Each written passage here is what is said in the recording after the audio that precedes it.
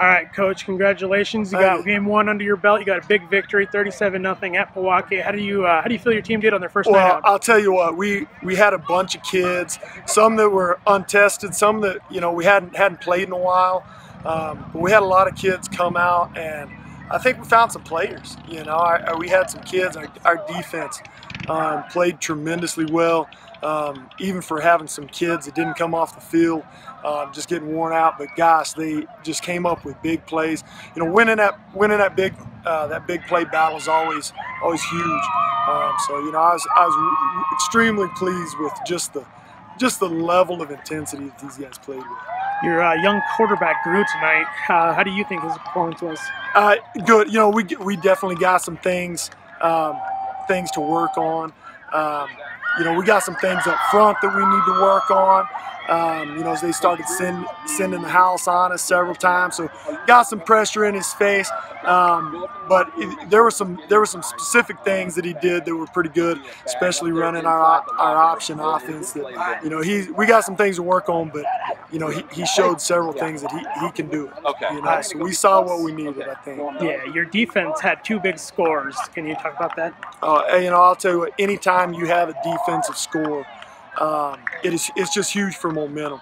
You know, to have so to have a pick six um, by Jack Stewart, but moreover to have a you know a fumble return for a touchdown by one of our D linemen. Every, almost every year we've had you know a D lineman score on a on a fumble return. And To have that with for Arturo, man, was just awesome.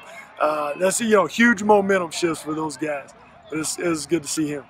And uh, real quick on your offense again, uh, how do you see the the uh, option going? Is it going to get stronger from it's, here? It's, it's going to get a lot. on? It's going to get a lot stronger. Um, you know, I, I think we saw we saw we, we have some kids in the backfield. Our skill kids are are going to be pretty good. You know, we still got some work. Um, you know, making the right reads and making sure we're picking up um, people on the line to make it go. But um, it's it's going to be there because we have the kids to do it. So that I mean, I'm I was pretty. Uh, we saw some things that we needed to see. So I've been pre- been pretty impressed with those guys tonight. All right, we're here with uh, Dylan Irish and Arturo Rodriguez after the Toppers beat Pojoaque 37 to nothing. And we're going to start with you first, Dylan. It's your first game at quarterback. You took a few hits, but how, how do you think you progressed? Uh, I think I started getting a little bit better throughout the game, but I was still. um, uh, it's just a whole new experience. Uh, how does the how did the game come to you? Was it a little slower, a little faster?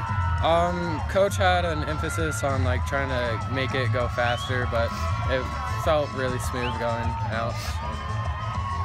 And uh, we're going to go to Arturo. Arturo, you had a I think it was a 34 yard uh, interception return. You picked off a. Uh, Pitch, little yeah. pitch. Uh, what was that like? What did you see, and how did it feel? Well, I just saw the ball kind of fumbling on his outside arm. I just went for it. Next thing I knew, I was just running downfield, and I felt someone right on my back. I wasn't sure if he was there or not, but I just kept sprinting. I thought I was going to get tackled right there. Yeah, it was fun to watch the big man run. yeah, it's always nice. on the uh, on the line. How did how was it tonight? You have uh, kind of a young line, so how did the, how did the team do? I think our line did really good, you know, especially for being such a fresh line. We, um, you know, we, we were in the backfield. We got a couple of hits on the quarterback. We got some tackles for losses, and I'm, I'm pretty proud of what our line did today.